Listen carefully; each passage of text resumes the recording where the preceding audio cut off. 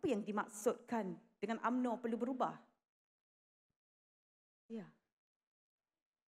Adakah apa yang terkandung dalam perlembagaan parti perlu lagi ada perubahan? Atau pemimpin yang perlu berubah? Atau tindakan kita yang perlu berubah? Kalau kita nak ubah apa yang terdapat di dalam perlembagaan parti sesuai dengan tuntutan masa yang ada pada hari ini, rasanya bukan sesuatu perkara yang payah.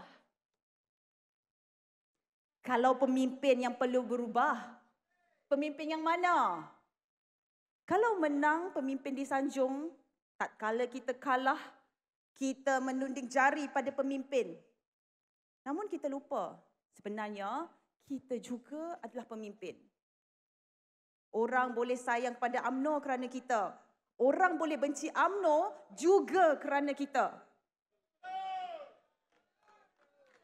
Kalau marah pada ketua cawangan je, kalau rasa tak puas hati kepada JKKP pun boleh buat orang tak undi pada AMNO hadirin sekalian.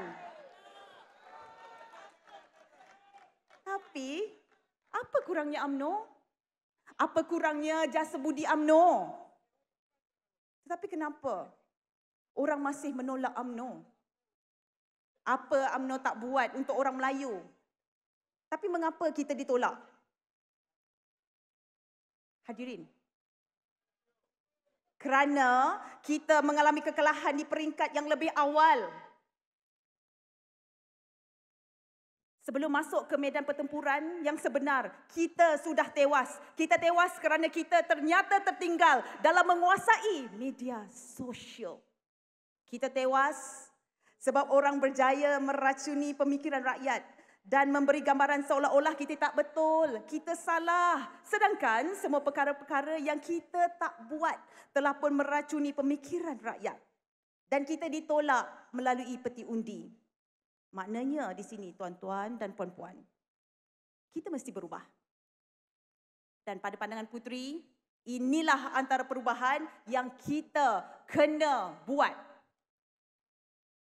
Saya sedar Apabila bercakap soal media sosial, orang melihat putri, orang menoleh pada putri. Akan tetapi, sejauh manalah sangat keupayaan kami menguasai bidang IT? Boleh, boleh. Akan tapi kalau kami nak berperang dengan isu-isu besar melibatkan negara, melibatkan perkara jauh dari jangkauan pemikiran kami sebagai anak muda, sebagai anak bongsu, sudah tentulah kami tidak mampu